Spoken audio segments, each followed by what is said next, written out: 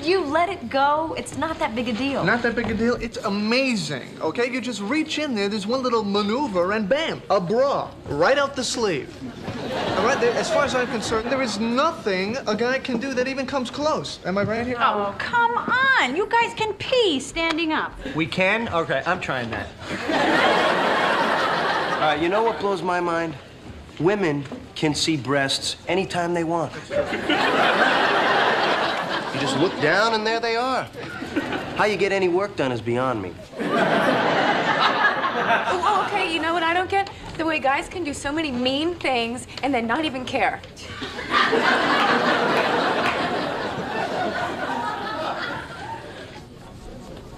Multiple orgasms. There you go.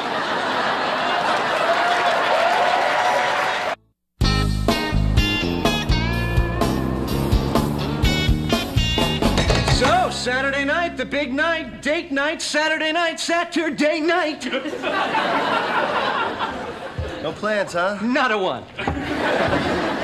Not even say breaking up with Janice. Oh, right, right.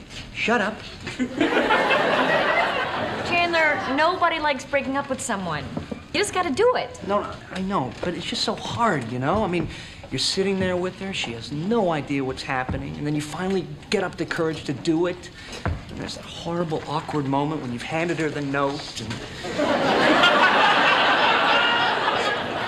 Why do you have to break up with her? Be a man. Just stop calling. You know, if, if you want, I'll do it with you. Oh, thanks, but I think she'd feel like we're ganging up on her.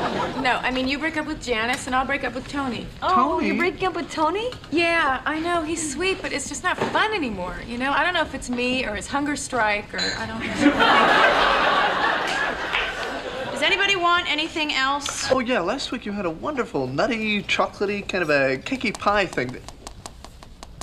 Nothing, just, just, I'm fine. What's the matter? Why so scrunchy? Ugh, it was my father. He wants to give me a Mercedes convertible. That guy, he burns me up. Yeah, well, it's a Mercedes if I move back home. Oh. Oh, it was horrible. He called me young lady. Ooh, I hate when my father calls me that.